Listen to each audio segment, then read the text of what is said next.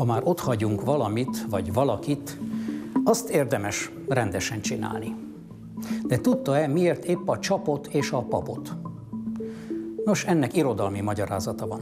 Csokonairól szóló pajkos versében Petőfi elregéli, amint jeles költő elődje meglátogat egy kálvinista lelkészt, aki persze alaposan ki akar tenni magáért a boros pincében is leülnek egy hordó tövébe, a házigazda kiüti a dugót, de amikor észreveszi, hogy nincs kéznél a csap, tenyerét a lyukra tapasztja, s a költőt felküldi a lakásba az ott felejtett csapért.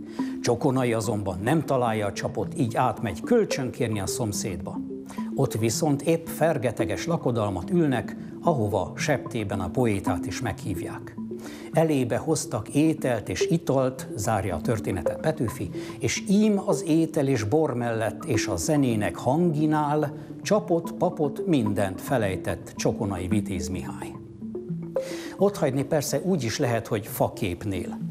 A fakép voltak éppen bálványt jelent, faragott oszlopot, olyat, amiből évszázadok fejlődésén át a kapubálvány, vagyis a kapufélfa alakult ki.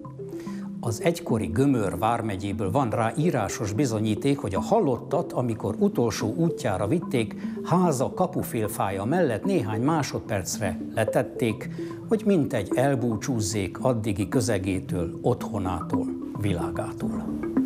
A faképnél hagyásban mindig ott a hirtelenség, a visszavonhatatlanság motívuma. Amikor a kikísért vendég hosszúnak találta a búcsúzást a kapuban, elég volt csak sarkon fordulnia. És hát a ház előtti találkozási alkalmat kereső lányt is ilyen kategorikusan hagyhatta ott a hűtlen szeretője a faképnél.